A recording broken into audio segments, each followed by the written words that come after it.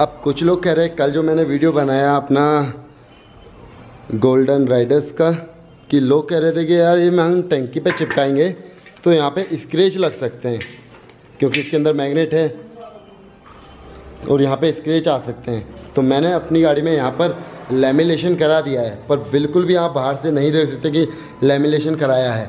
बस आपको यहाँ पे हल्का सा एक लाइन दिखेगी। और अब इसके ऊपर मैं रख सकता हूँ, मेरा पेंट भी ख़राब नहीं होगा।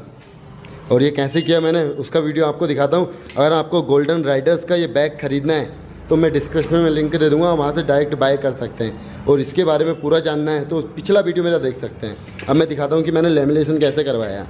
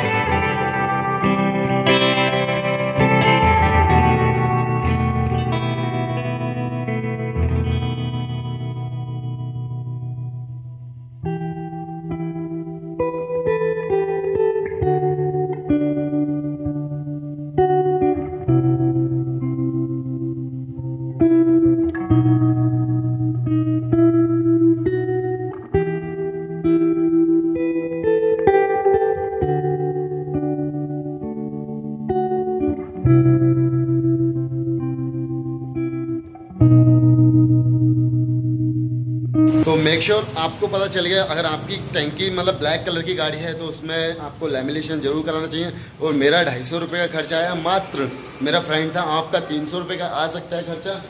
और देख सकते हैं, काफ़ी अच्छा हो गया है। मतलब जो मुझे स्क्रेच की प्रॉब्लम थी, उसका मेरा सोल्यूशन हो चुका है। तो फ़िलहाल के लिए वीडियो में इतना ही। जय हिंद, वंदे मातरम।